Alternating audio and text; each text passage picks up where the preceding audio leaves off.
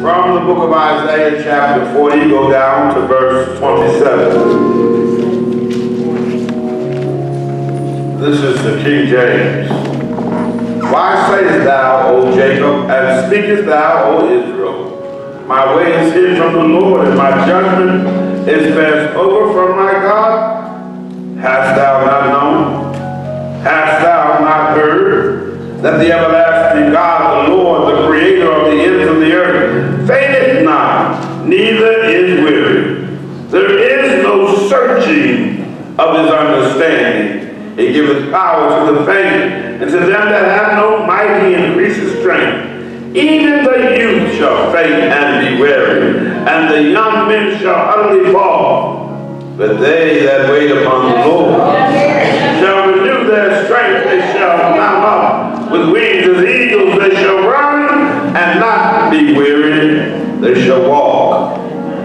and not faint. Relief for your restlessness and comfort for your crisis. Relief for your restlessness and comfort for your crisis. Let us pray. Come, Holy Spirit, speak to us and through us. Let the words of my mouth and the meditations of my heart be acceptable in thy sight, O Lord, my strength and my redeemer. Amen. Amen. After being with you for 25 years, you might well know that this is one of my favorite passages of Scripture. In fact, the book of Isaiah is one of my favorite books in the Old Testament. The other one being the weeping prophet Jeremiah. If you do a study of the book, you will discover that the name Isaiah means salvation of God. Hmm. In fact, Isaiah's name is an excellent summary of the contents of his book. The word salvation appears 26 times in Isaiah compared to only seven times in all the other prophetic books combined. So I think it's safe to say that the theme and the purpose of the book of Isaiah is found in his name. Salvation is the Lord's. The book of Isaiah is like a miniature Bible. The first 39 chapters are like the 39 chapters of the Old Testament, yeah. which stresses the righteousness, holiness, and justice of God. Each one of those chapters is filled with God's judgment upon an immoral and idolatrous people. So the first 39 chapter also portrays humanity's greatest need for salvation. As Isaiah declared that God is the supreme ruler, the sovereign Lord of history, and the only Savior. Yeah. The first 39 chapters of this book Isaiah solemnly warns Judah of approaching judgment because of their moral depravity, political corruption, social injustice, yes. and especially their spiritual idolatry. Yes. So my question for you this morning, does it sound like the world we live in today? Yes. I, I think that this message preached in 740 BC is still relevant in 2019 AD. Yeah. We are called to learn, brothers and sisters, from the lessons of old. Because God cannot and will not allow such blatant sin to go unpunished forever. I didn't come here this morning to preach a message of doom, but a message of hope. Yeah. Because there is hope this morning found in our text.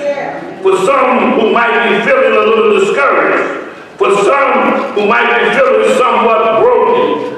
To some who are disappointed in life or with themselves, there is hope. This week, read the book of Isaiah, and you will discover that the first, I'm sorry, that the final 27 chapters are like the 27 books of the New Testament, yeah. which declares a message of God's glory compassion, and undeserved favor. So, so let us consider uh, Isaiah 40, verses 27 through 20, 31.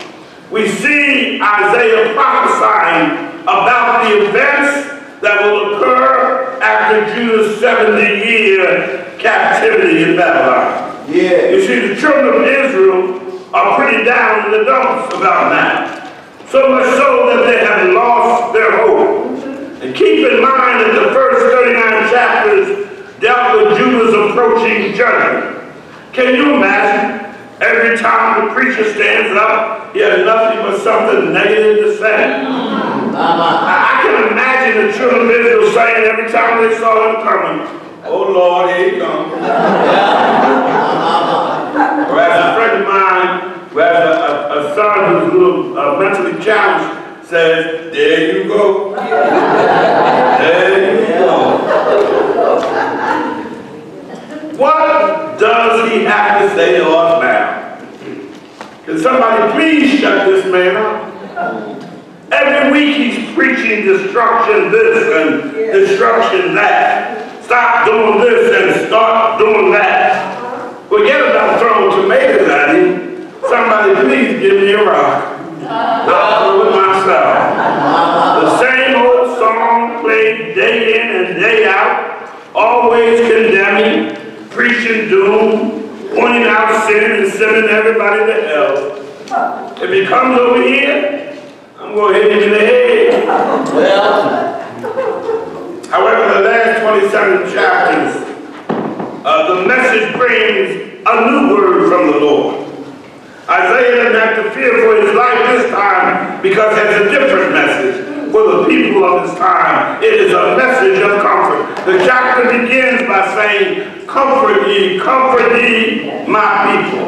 Say you, God, speak ye comfortably to Jerusalem and cry unto her that her warfare is accomplished, that her iniquity is pardoned, for she has received of the Lord's hand double for all her sins. Note that the prophecy of comfort is a hundred years prior to their actual captivity. So let's do the math. You see, we have a hundred year prophecy of future comfort plus 70 years of captivity in Babylon. Well, well, well, well, wait a minute. You mean to tell me that we have to wait 170 years for the prophecy to come to pass? Well, somebody please give me a rock for this man. you better hold me because when I get through with him, the my father, there'll be no place left for him or fit for him but the cemetery. It's no wonder why Israel was down in the dumps.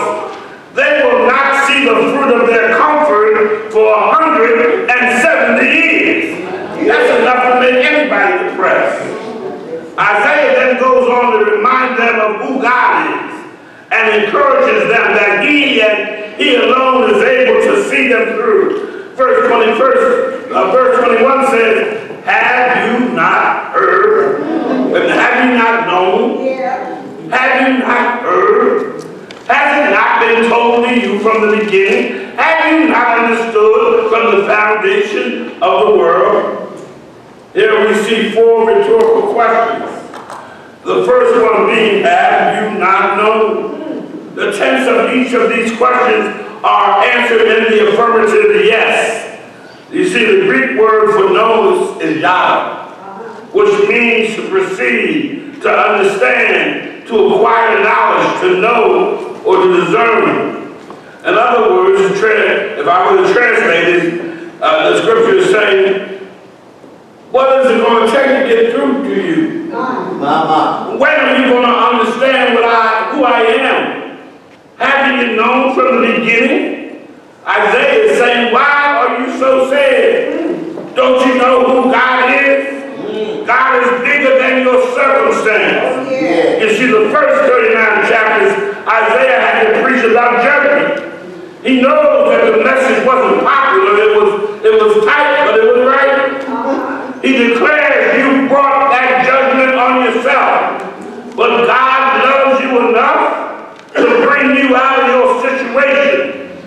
loves you enough to bring you out of your captivity. So don't tell me you didn't know, because he brought you through many dangers, seen and unseen. In the midst of your rebellion and sin and shame, he was right there with you. Didn't you know it? And maybe some of them still don't know. Maybe some of them still don't understand that this God that sitteth upon the circle of the earth, maybe understand that this same God that said, let there be light, this God can and will comfort their crying hearts during adversity. Don't you know that, brothers and sisters? Don't you today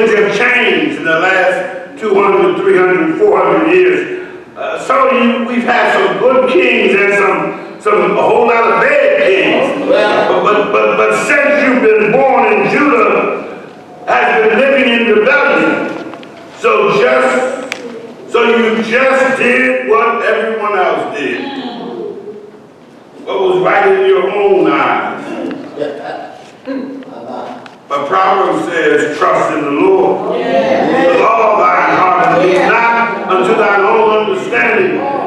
But hey, who goes to Bible study these days? Who really knows that? Okay, I'll give you the benefit of the doubt. Well, But let me ask you another question. This is Isaiah talking. Hast thou not heard that the everlasting God, the Lord, the creator of the ends of the earth, they did not, neither is he weary.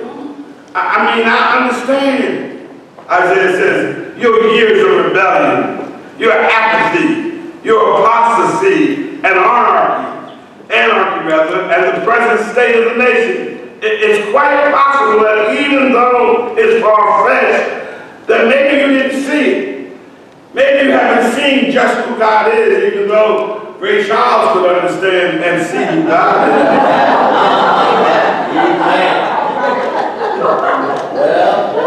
haven't you at least heard something about God? Yeah. This God of all creation? Haven't you heard anything about the creator of the ends of the earth? Did, not, did not anyone tell you how God used Moses to lead your ancestors out of Egypt? Or how he guided them through the wilderness for 40 years by a pillow.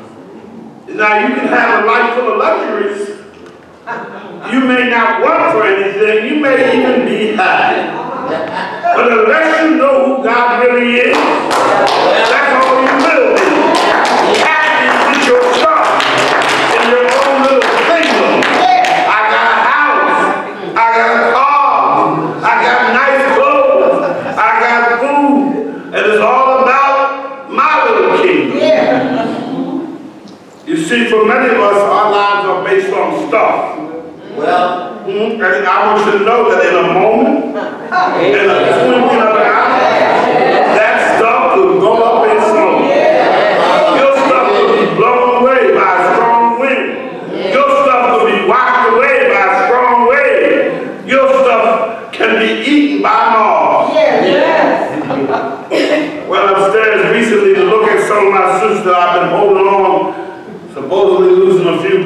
Well, I looked at some of them and they had all these little marbles. Yeah. Yeah. My stuff was being eaten away right. by the marbles. you see, many of us have the find have comfort in the things that surround us. We seek comfort in our happenings. But when something happens that changes our circumstances, well. and we find ourselves just like the children of Israel, and we doubt God's ability to get us through, uh-huh. that's when you need to know who God is. Yeah. You need to know that God is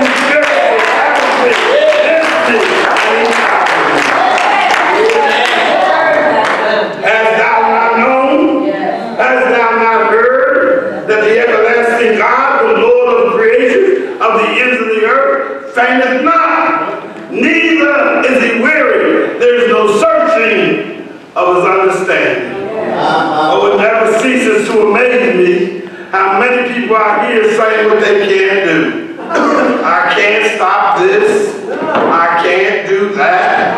I can't, I can't, I can't.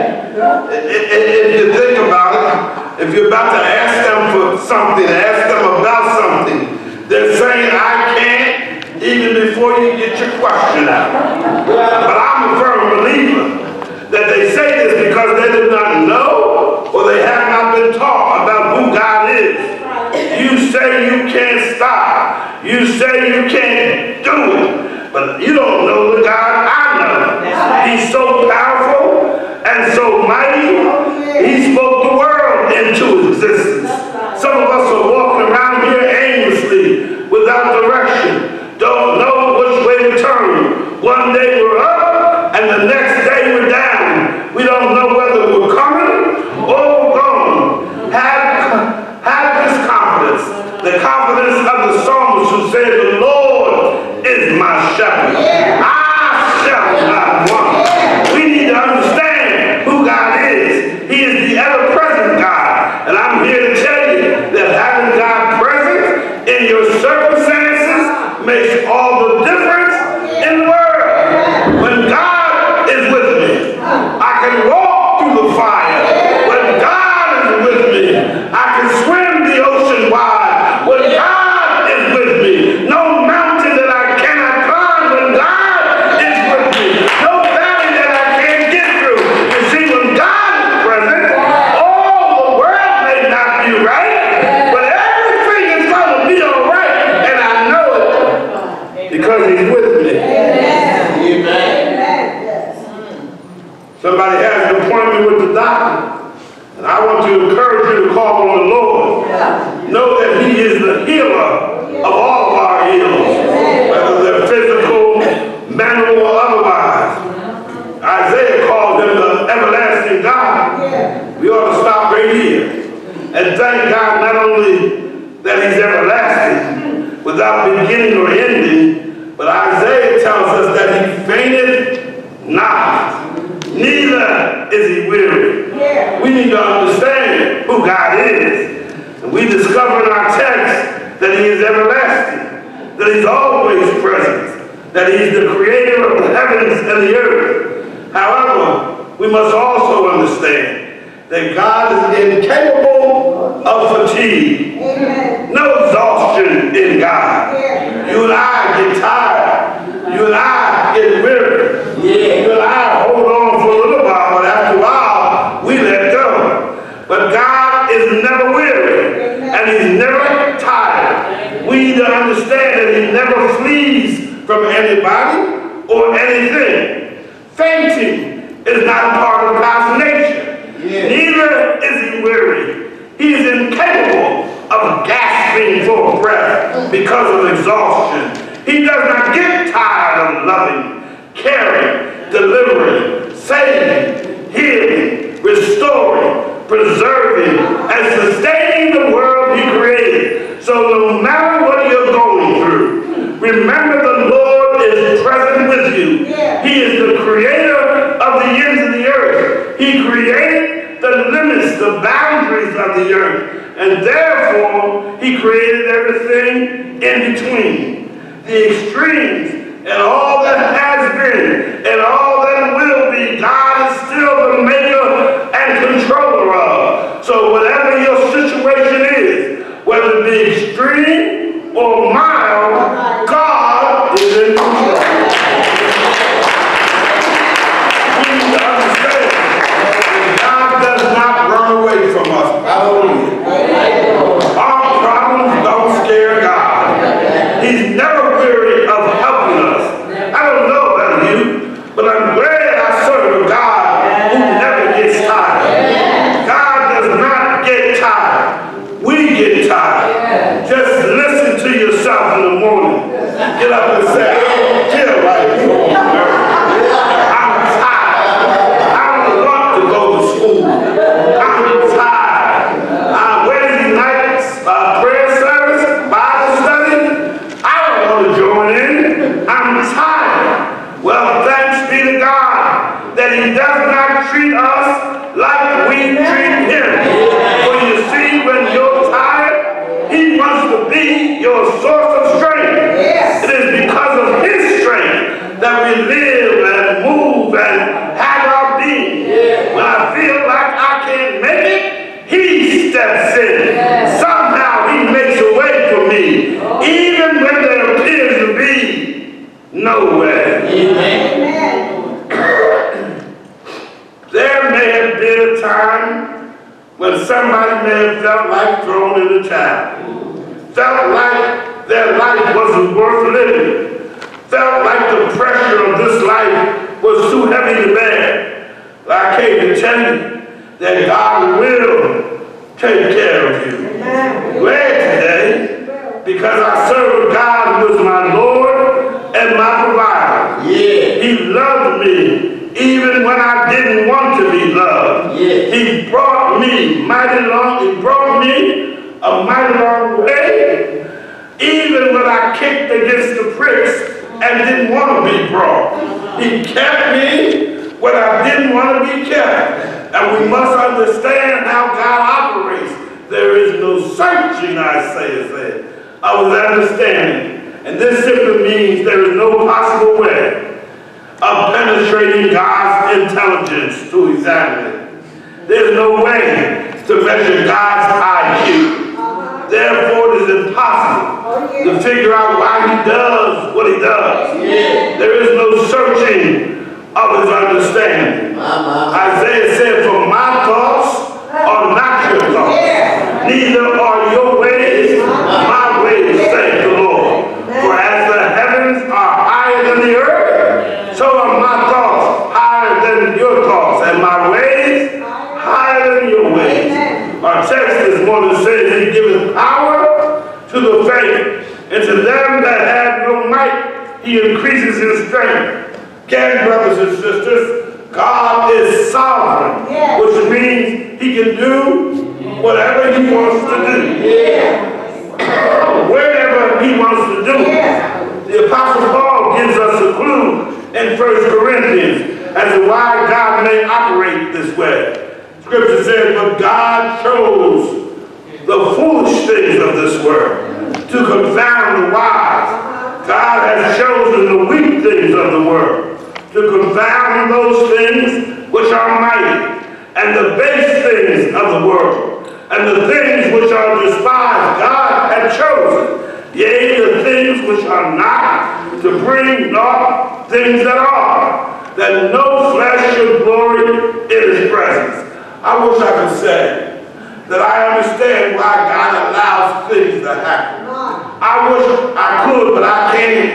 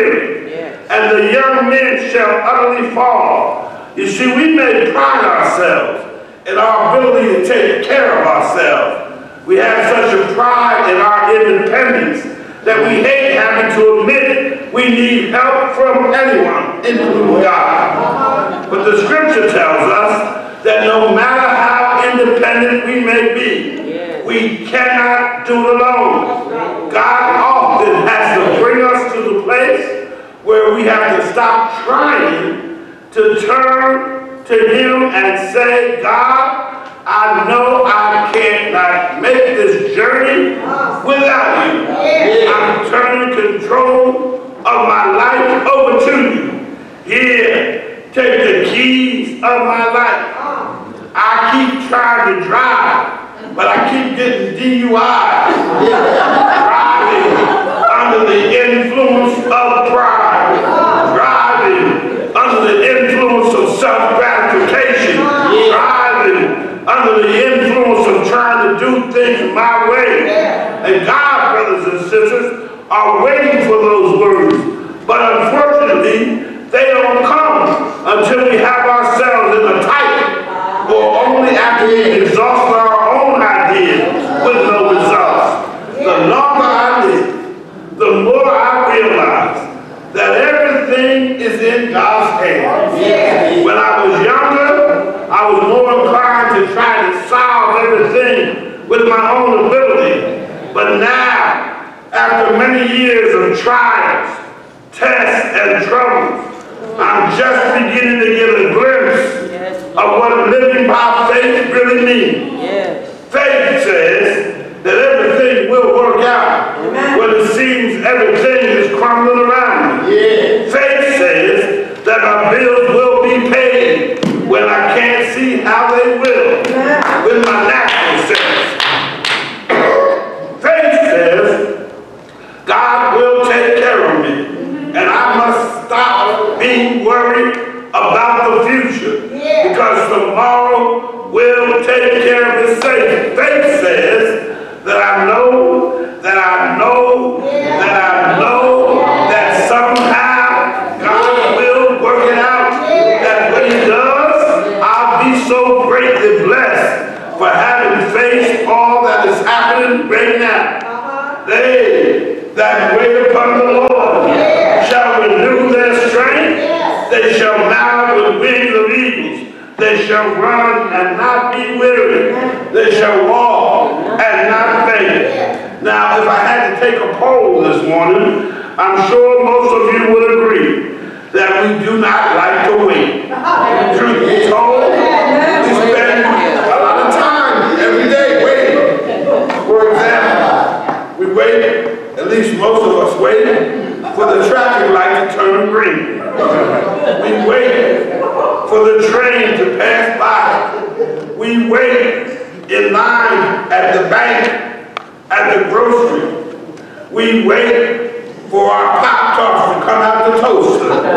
We wait for our water to boil. We wait for the movies. Wait for the ball game to start. We even sit at home all day waiting for a phone call or for people to show up. We wait at the doctor's office, wait at the dentist's office, wait at the barber shop, wait at And I'm sure that some of us are anxiously awaiting our next day off or our vacation. Some folk are waiting for church to get over.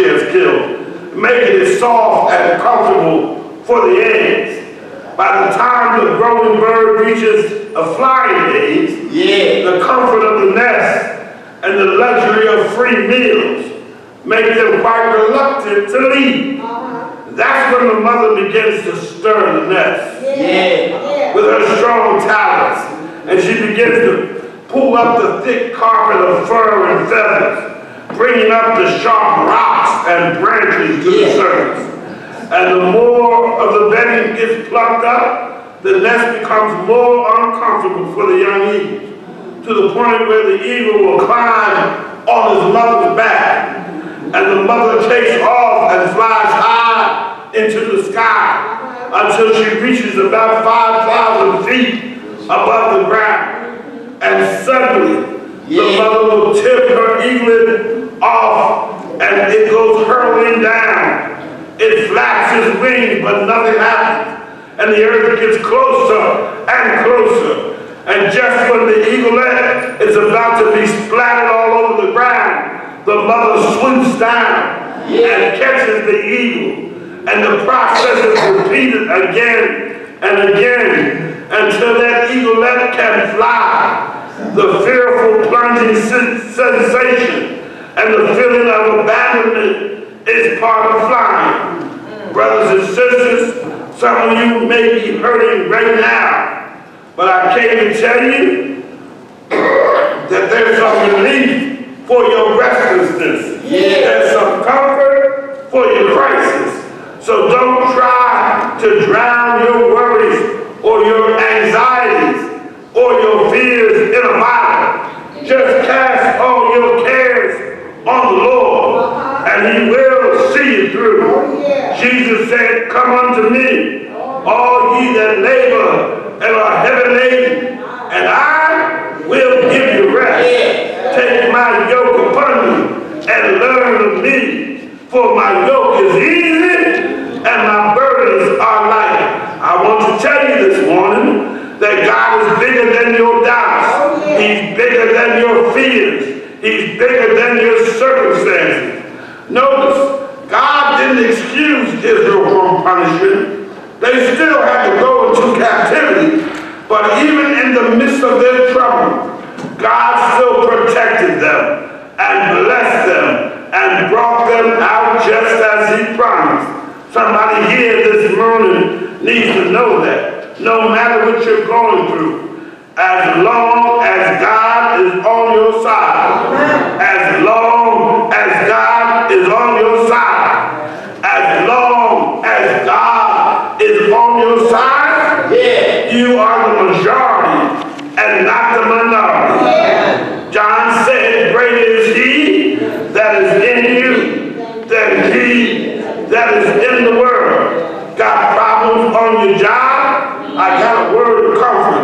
give it to Jesus. Yeah. Somebody may be jobs. I got a word for you. I was young, now I'm old. Yet I've not seen the righteous forsaken, nor is seed begging bread. Don't you know? God will take care of you.